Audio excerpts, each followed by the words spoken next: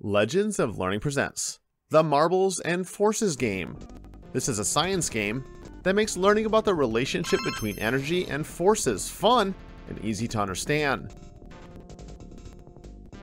In this informative, instructional game, flick a marble into the goal and learn about the relationship between energy and forces, potential energy, kinetic energy, and magnets. Your aim in this game is to flick a marble into a goal. You will use your knowledge of the relationship between energy and force to complete each level. a strong flick. Your teacher will teach you how collisions and forces work, so that you are able to complete each of the levels. The aim is to flick a metal marble inside the goal. You will use your mouse to drag a red arrow to the correct position, so that the marble can reach the goal.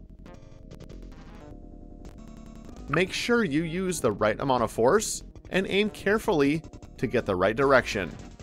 Complete all levels to win the game. Do you have the right marble flicking skills to complete the game? Have fun and enjoy playing.